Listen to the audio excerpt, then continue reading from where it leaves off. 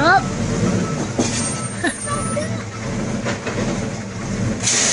oh, he's got to get out of the car, out of the truck. he had to get out of the truck. What? Yeah. Sure. Oh. He wants to give you something.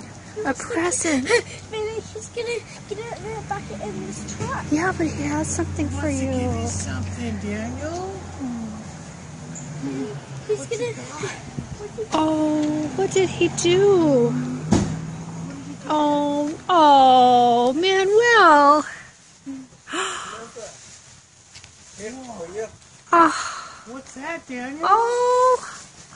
Daniel, look in it. Can you look? What is it? It's a garbage truck. Wait, look, open. Wait, open it.